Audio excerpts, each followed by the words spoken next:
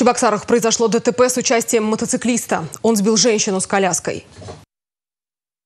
В половине седьмого вечера на дороге возле дома 24 по улице Мичмана Павлова мотоциклист не справился с управлением. Он выехал на встречную полосу и наехал на женщину с коляской, которая переходила дорогу по нерегулируемому пешеходному переходу.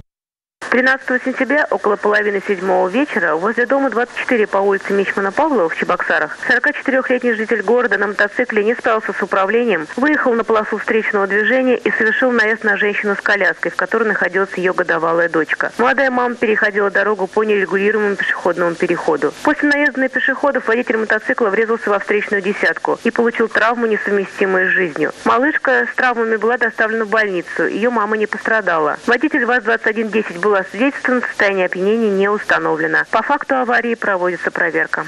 Водитель автомобиля, в который врезался мотоциклист, был трезв. По факту аварии проводится проверка.